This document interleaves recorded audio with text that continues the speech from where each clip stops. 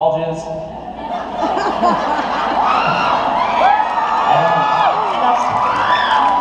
not sure how that would work, but um, And Great. super quick, I Yes. just wanted to give you, you met my daughter in Vegas one year, and she's kind of in love with West. They're the same age. yep. She does not understand why she can't play date with him, but she made him a little Valentine. A Valentine Day from West? Yes. Holy smokes. They're the same age. They're the same age. Yeah, He's, more, he's kind of mostly into older women, but okay. She wrote her name on here, so it was very clear it was from her. Oh yeah, Claire. Yes. Oh yeah. And then there's something else here too about her. Yeah. But Okay. anyway, she made that for him special. Okay, For thank me you to very bring. much. Thank you.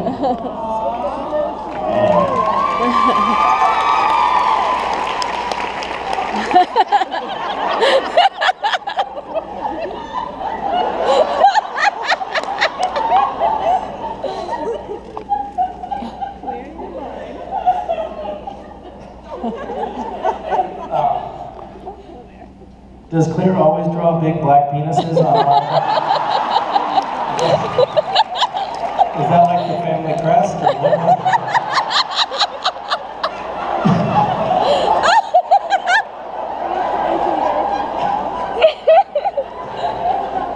It's a dark. Oh, they're here? Okay. Yeah, come on in. Here. So, sorry, hold on. Uh, we're in the big room. The ballroom. The Solara Ballroom. Just come into the Solara Ballroom, please. Solara Ballroom? Solara, yeah. I know it's hard to pronounce. It always, we always get deliveries mixed up here.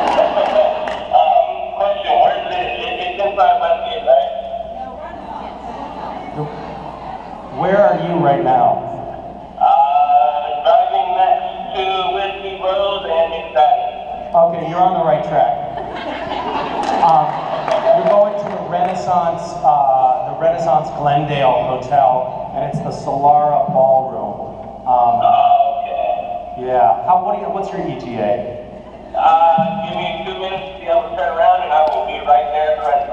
Okay, no problem. All right, thank you. Bye. He's turning around?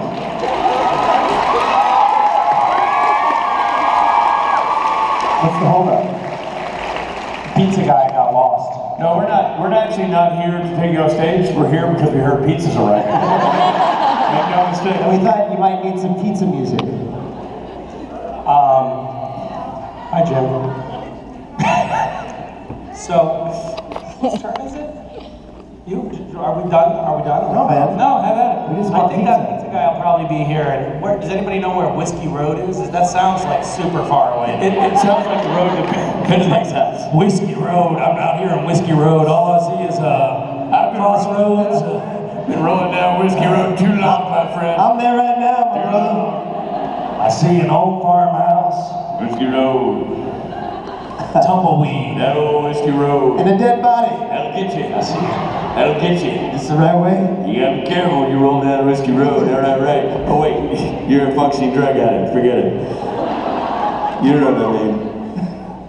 Anyway, go do your thing. Ask me. We're not even. Don't mind us. We'll be real quiet. Yeah. Shh. Hi. Um, it's nice to meet you, Misha. Uh, It's nice to see you. Thank you. If you could turn your favorite book into a movie, what would it be and who would you play in it? If I could turn my favorite book into a movie, oh man, that's challenging. I just like the way you said that. Like, they don't turn books into movies. What's he talking about? Crazy.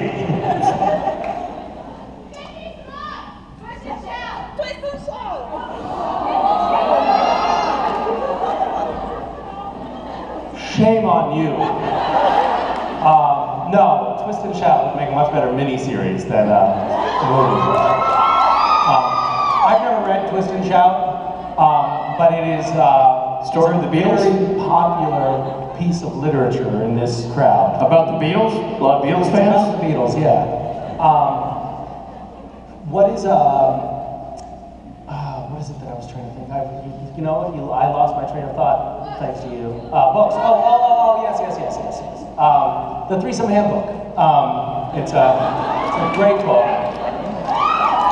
Keep, keep it in the family. Um, and I would play the role of, of Rob Benedict in that uh, film. Oh, Lord. Thank you. Thank you. Oh, God. My wife wrote this very tawdry book that is, you know, it's not fit for, for general consumption. And when she was writing it, you know, there was all these people that we had to kind of like, uh, there were all, there, there were case studies that people she had talked to that she was referencing in the book, but she didn't want to use their real names. So I was like, just use the names of our friends. Uh, yeah, really. And like couples, like so it'd be a couple friend that we knew, we'd like put them together with a third, Oh my God. third party in the book. And I thought this would be hilarious. Everybody'd get a good laugh out of it. Uh, s- so didn't our friends. Um,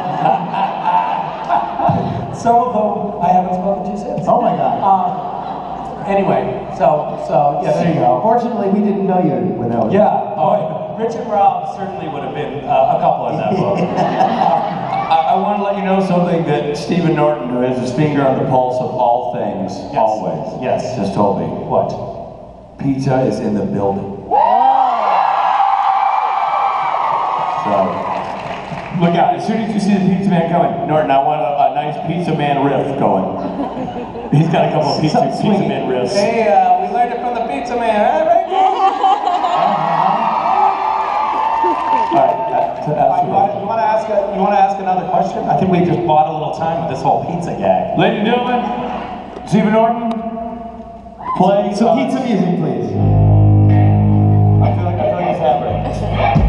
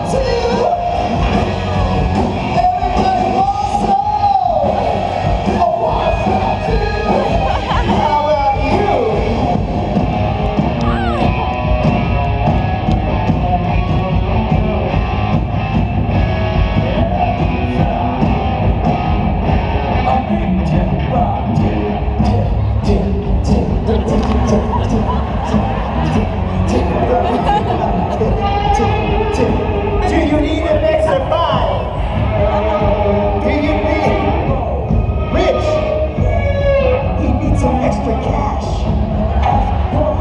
Go to the ATM. Hi there. What's your name? Wait, wait, wait. What's up? Hi, Tim. Um, do you always um, do you always have such a warm reception when you deliver pizza? You know, I get a lot of compliments, but I mean, not like this. In case you missed the first, in case you missed the first part, he said, "Here, here you go." Okay. Give me the, I want to, I want to, come up here. Come up here. I feel like pizza means just with a real.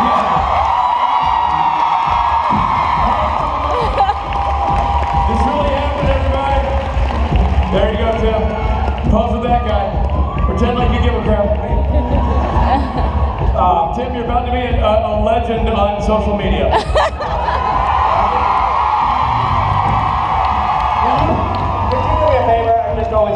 Someone to say this. Can you say, um, uh,